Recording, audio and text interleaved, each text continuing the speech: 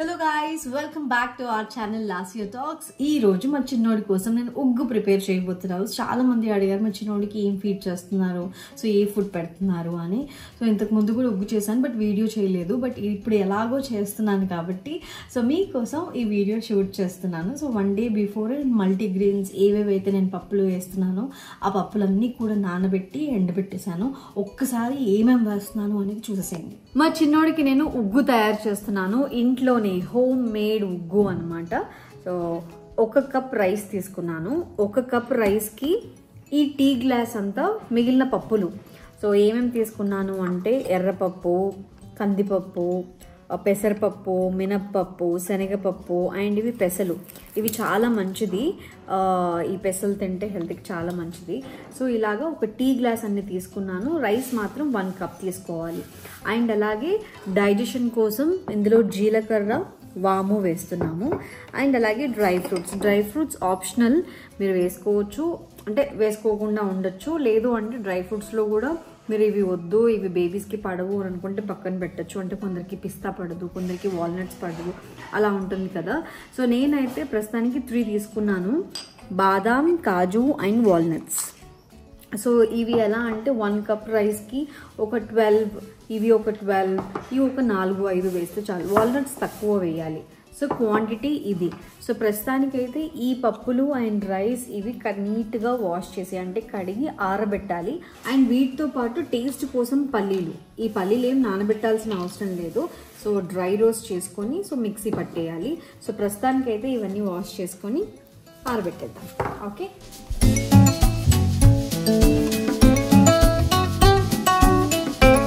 So rice మరి ఎక్కువగా కడగద్దు. అంటే నార్మల్గా మనకి బయట దొరికే రైస్ కాకుండా అంటే పండించిన రైస్ ఎక్కువ పాలిష్డ్ ఉండవు కదా ఆ రైస్ పిల్లలకి పెడితే చాలా మంచిది. సో మాకంటే ఆ రైస్ దొరికింది కాబట్టి నేను ఆ రైస్ యూస్ చేస్తున్నాను. లేదు మనం బయట కొన్నవి అయితే ఎక్కువ సార్లు వాష్ చేయకండి. మనం ఎక్కువ సార్లు కడిగితే ఎక్కువ వాష్ అయిపోతుంది కదా. సో అందులో ఉండేవన్నీ పోతాయి. సో అందుకని ఎక్కువ పాలిష్డ్ రైస్ కాకుండా నార్మల్ రైస్ అయితే మంచిది.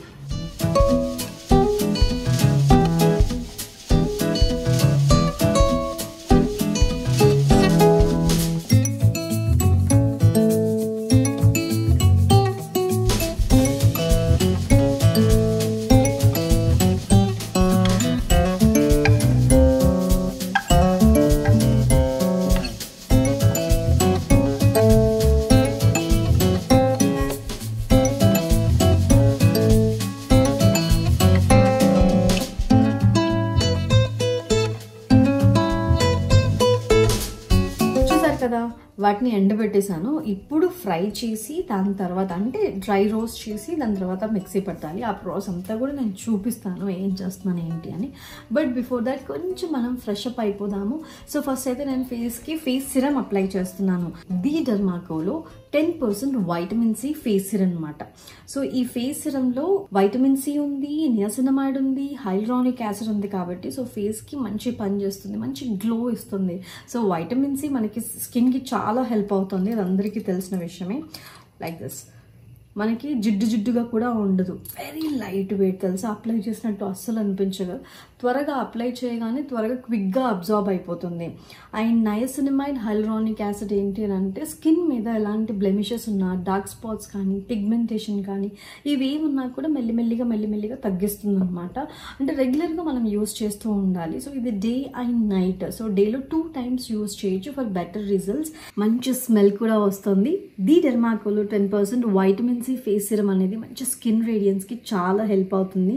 అండ్ ది డెర్మాకో ప్రోడక్ట్స్ అన్నీ కూడా SLS and paraben free and dermatologically tested అనమాట సో ఫాలోడ్ బై మనం ఏ సిరం అప్లై చేసుకున్నా మాయిశ్చరైజర్ అప్లై చేసుకున్నా ఏది చేసుకున్నా కూడా sunscreen lotion it's must. But Derma Co use చేసిన తర్వాత ది డెర్మాకోలోనే నేను ఎస్పీఎఫ్ ఫిఫ్టీ ఉన్న one percent hyaluronic sunscreen aqua జెల్ని use చేస్తున్నాను. సో నార్మల్గా సన్ స్క్రీన్ లోషన్స్ ఎలా ఉంటాయి అప్లై చేస్తే వైట్ వైట్ ప్యాచీ లుక్స్ ఇలా వస్తాయి కదా. అలా కాకుండా మనకి ఎలాంటి వైట్ ప్యాచెస్ లేకుండా అసలు సన్ స్క్రీన్ అప్లై చేసుకున్నావా అన్నట్టుంటుంది.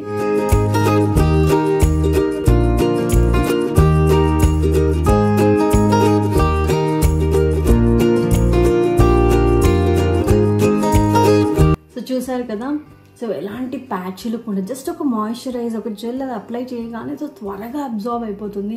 And it's non sticky and ఇందులో వైటమిన్ ఈ హైలరానిక్ యాసిడ్ ఉంది. స్కిన్ ఎప్పుడు హైడ్రేటెడ్గా ఉండేలాగా చేస్తుంది. అండ్ బయటికి వెళ్ళినప్పుడు హెవీ సన్లైట్ నుంచి హెవీ యూవీ లైట్స్ నుంచి మనల్ని స్కిన్ ప్రొటెక్ట్ చేస్తుంది అనమాట అండ్ ఇట్స్ ఫ్రేగ్రెన్స్ ఫ్రీ అంటే స్మెల్ అలాంటిది ఏమీ ఉండదు.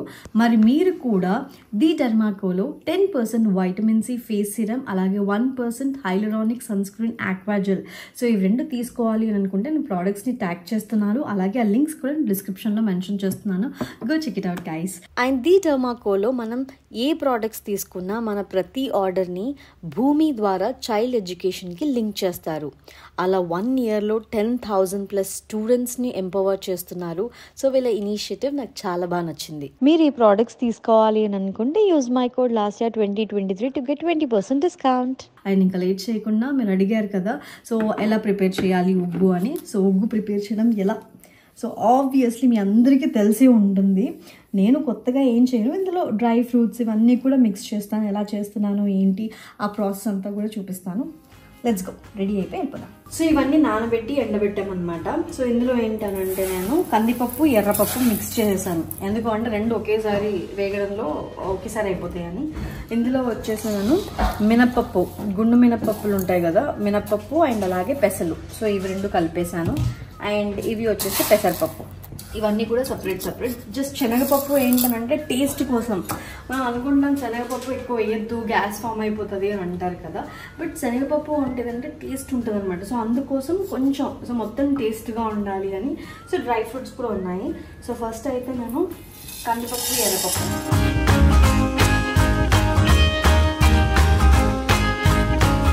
సో ఇప్పుడు నార్మల్గా బయట అన్నీ దొరుకుతున్నాయి మనకి. ఇది వద్దు అని ఏమీ లేదు. జస్ట్ వాటర్లో మిక్స్ చేసేసుకుంటే చాలు. కానీ బయటవి ఎందుకు ప్రిఫర్ చేయడము అని చెప్పేసి హోమ్ మేడ్కి ఎక్కువ ఇంపార్టెన్స్ ఇస్తాను. ఏదైనా మనకి తెలియని ప్లేస్కి వెళ్తున్నాము అక్కడ మనం ఉడకబెట్టి మనకు అంత టైం ఉండదు అన్నప్పుడు వేడి నీళ్ళలో ఏదో మిక్స్ చేసుకోవాలి అనుకున్నప్పుడు అలాంటి బయటవి ప్రిఫర్ చేస్తాను. కానీ మోస్ట్లీ ఇదే. అండ్ ఇంకొక ముఖ్యమైన విషయం ఏంటంటే మీ అందరికీ తెలిసిందే. సో మనం ఏదైనా రోస్ట్ చేస్తున్నాము అంటే ఏదైనా వంట అయినా కూడా. సో హై ఫ్లేమ్లో కాకుండా లో ఫ్లేమ్లో కుక్ చేస్తే ఏమవుతుంది అంటే ఇవన్నీ కూడా ప్రాపర్గా రోస్ట్ అవుతాయి అన్నమాట ఇట్లా వేగాలి ఎక్కువ వేగితే మళ్ళీ మాడిపోతాయి. ఎర్రగా బాగా వేగాయి ఇట్లా వేగాలి ఓకే. నేనైతే ఎగినాయా లేదా నాకు కొంచెం తెలియలా. మాడిపోకుండా చూసుకోవాలి. మాడిపోకుండా చూసుకోవాలి. సరే సరే మాడిపోతే చేదుగా ఉంటుంది కదా.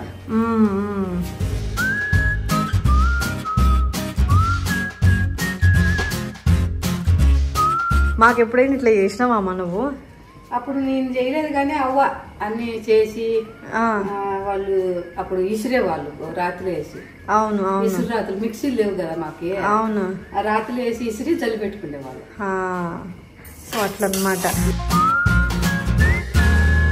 పిల్లలకే అని కాకుండా మనం కూడా ఈ పెసలు తింటే చాలా మంచిది. అంటే డయాబెటీస్ కంట్రోల్ అవుతుంది. అని మా నాన్నమ్మ నేను చిన్నప్పుడు చూసిన కదా మంచిగా వేయించుకొని టైం పాస్కి అట్లా నోట్లో వేసుకొని తింటూనే ఉండేది. మేము కూడా ఏం తింటుందని చెప్పేసి మాకు అట్లా అలవాటు అయిపోయింది. భలే టేస్టీగా ఉంటుంది తెలుసు యాక్చువల్లీ. బాగా వేగినాక కొన్ని ఉప్పు నీళ్ళు నీళ్ళలో కలిపి అట్లా చల్లి వేయించితే దాంట్లో పడుతుంది. అదనమాట మాట. అది డబ్బాకు పోసి పెడితే.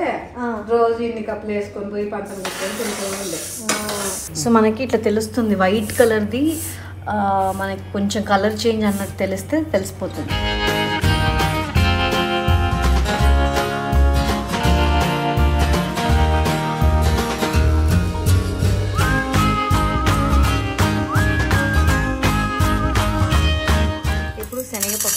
కొంచెం అంటే కొంచెం శనగపప్పు టేస్ట్ కోసం అంతే.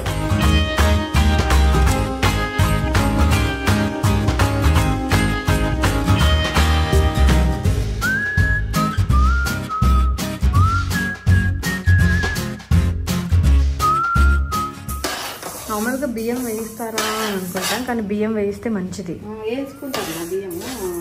ఇప్పుడు అప్పుడు ఉప్మా చేసేదానికి మేము బీబరవే బియ్యము ఇట్లనే కడిగి ఆరబెట్టి ఉచ్చిపచ్చిగా వేయించి విసిరేవాళ్ళు ఓకే.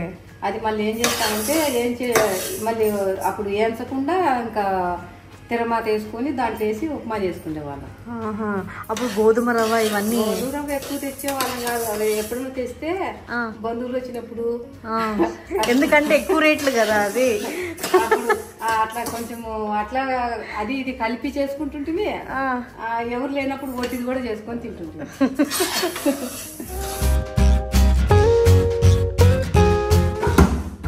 ఎందుకు?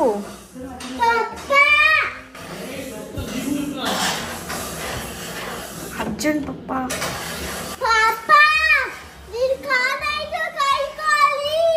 కాలు చేతులు కడుక్కోవాలా నువ్వు?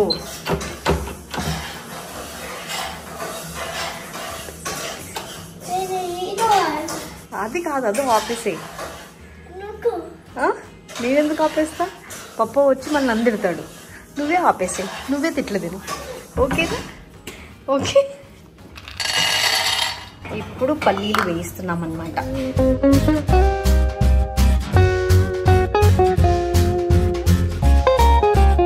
సో ఇవి సపరేట్గా తీసి పెడుతున్నాము. ఎందుకంటే పొట్టు తీసేయాలి కదా అందుకని. సో ఇప్పుడు డ్రై ఫ్రూట్స్.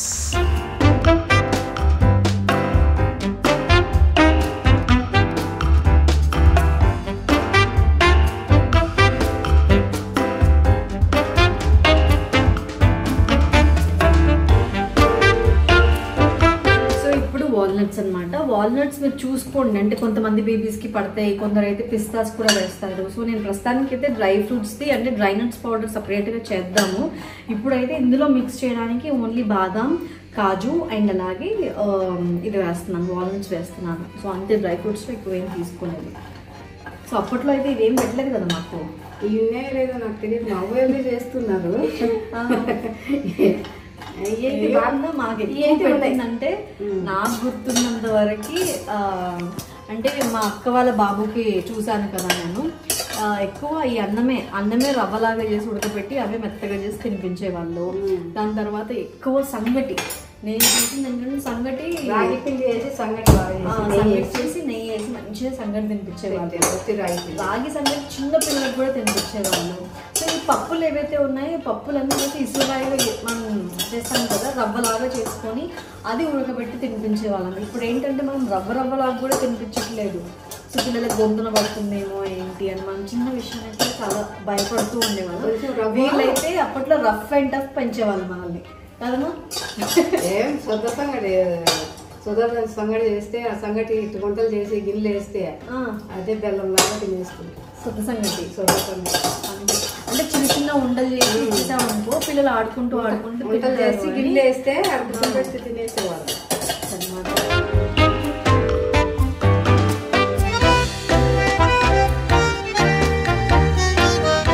వాము జీలకర్ర. సో ఇవి రెండు కూడా అరగడానికి చాలా హెల్ప్ అవుతుంది. అందుకని జస్ట్ ఒక టేబుల్ స్పూన్ కూడా కాదు దానికంటే తక్కువే. సో ఇది మనం అసలు గ్యాస్ ఈ పెనం ఎంతైతే వేడి ఉంటుందో దాని మీద ఫ్రై చేస్తే చాలు. వేగిపోతుంది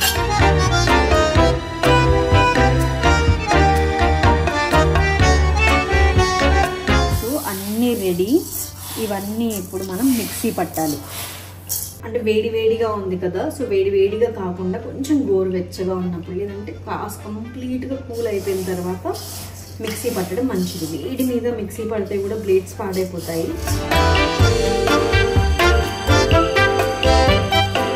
మనం మిక్సీ పట్టు. సరే. నేను జల్లెడ పడతా. ఓకే ఫస్ట్ అయితే పప్పులు ఇవన్నీ రైస్ మిక్స్ చేసాం కదా ఇది జల్లెడ పడదాము. దాని తర్వాత పల్లీలు సపరేట్గా కొడదాము డ్రై ఫ్రూట్ సపరేట్గా కొట్టేద్దాం. ఓకేనా? సరే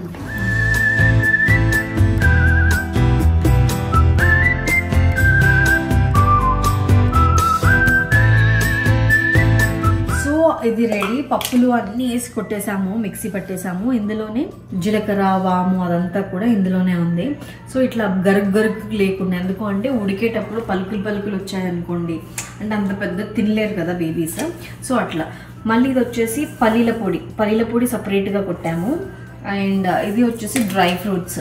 So dry fruits ఏంటంటే పేస్ట్ అయిపోద్ది. ఇలాగా. సో నాకు తెలిసి పేస్ట్ సపరేట్గా పెట్టుకుంటేనే బెస్ట్ కలిపిద్దాం బుజ్జి? కలిపేసే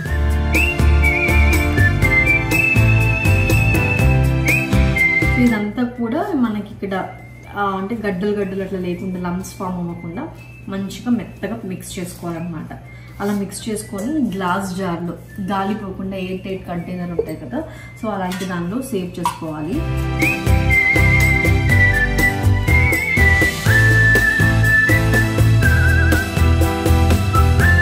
క్రిస్పీ క్రిస్పీగా. అన్నీ మంచి వేనేయాలేదా? బాగా తెలుస్తుంది. లాస్ట్ ఎన్ని? వన్ ఇయర్ చేసావా ఫుడ్ వన్ ఇయర్కి కాదు బుజ్జి. ఇది ఒక టూ త్రీ మంత్స్లో అయిపోతుందమ్మా రెండు మూడు నెలలు అయిపోతుందా లేదా ఇది?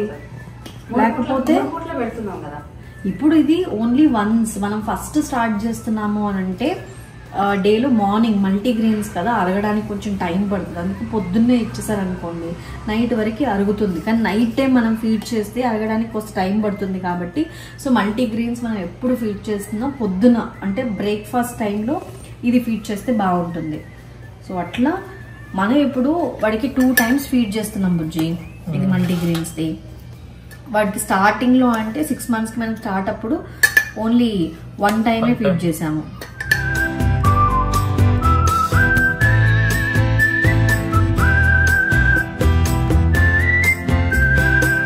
చిన్నోడి multigrain Cerelac ready that homemade Cerelac అన్నమాట. సో ఇలా చాలా ఉన్నాయి. సో రకరకాలవి నేను చేసి చూపిస్తాను. సో ప్రస్తుతానికి అయితే ఇది రెడీ కొన్ని దానిలో అయితే మక్కన కూడా వేస్తాను. అది ఎలా ఫీడ్ చేయాలి ఏంటి అనేది కూడా నేను చెప్తాను. సో ఇప్పటికైతే ఇది రెడీ సో మా వాడికి కుక్ చేసి ఫీడ్ చేస్తున్నప్పుడు చూద్దాం వాడు ఎలా తింటున్నాడు ఏంటి అనేది నీకు అర్థం అవుతుంది కొద్దిగా సాల్ట్ వాళ్ళకి టేస్ట్ కోసం అంతే. మనం ఏదో ఎక్కువ వేసేయాలి అని కాదు.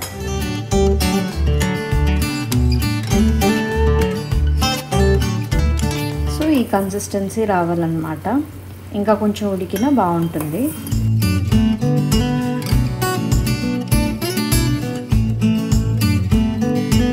వన్ స్పూన్ ఉడకబెడితే మనకి ఇంత క్వాంటిటీ వస్తుంది. సో ఇదంతా కూడా ఫినిష్ చేస్తాడు. లేదు అంటే కొంచెం ఒక టూ త్రీ స్పూన్స్ ఇంత ఒక టూ త్రీ స్పూన్స్ అంతా వదిలిపెడతాడు. బట్ మొత్తం కూడా తినేస్తాడు. కొంచెం చల్లారితే గట్టి పడుతుంది కాబట్టి సో మళ్ళీ వాటర్లో పెట్టడం అలా చేయకుండా జస్ట్ ఇది పక్కన పెట్టేస్తే ఒక టెన్ మినిట్స్లో గోరువెచ్చగా అయిపోతుంది. సో మళ్ళీ చల్లారిపోయిన తర్వాత ఫీడ్ చేయకుండా గోరువెచ్చగా ఉన్నప్పుడే ఫీడ్ చేయాలి. వాళ్ళకి కొంచెం వేడివేడిగా ఉన్నప్పుడే తీసుకుంటే మంచిది. అండ్ హాట్ వాటర్ కూడా పెట్టేసుకున్నాను. సో ఇది మా వాడి మార్నింగ్ బ్రేక్ఫాస్ట్